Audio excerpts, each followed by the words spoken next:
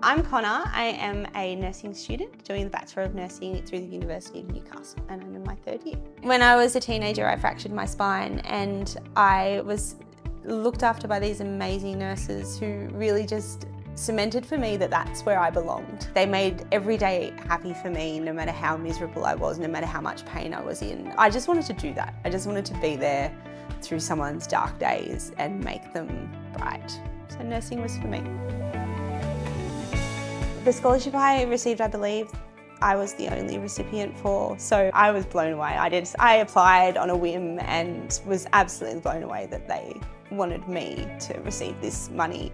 The fact that this support exists is massive. It's knowing that people want you to succeed, no matter where you came from. It means that people can change the cycle of what may have been generations of poverty. Really surprised that there's these amazing people in the world that want to reach out and help people they don't know. One of my children was going through a bad experience and I was able to be there for him because of this scholarship. I was able to actually buy my uniform because of this scholarship. We, my laptop died. I was doing my exam on my phone at one point because I just couldn't, I couldn't get a new laptop. I don't know if I would have continued in the manner I was doing well.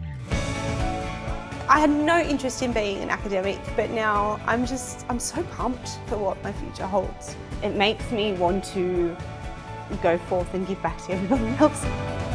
So I got this opportunity to volunteer at Children's University, which is where they take these year six kids through. And their parents may never have been to uni, their, their grandparents probably didn't even finish high school. Like these kids who had never seen a university and seeing their eyes just like, whoa, this is so cool. Like, you, this is what you do. I just know that if when they go forward, if there's people who donate money to scholarships, that they're not going to feel like they can't succeed. If there's people that are willing to just give them a little, little bit of a lift to afford a uniform, to afford a laptop, to afford a pen.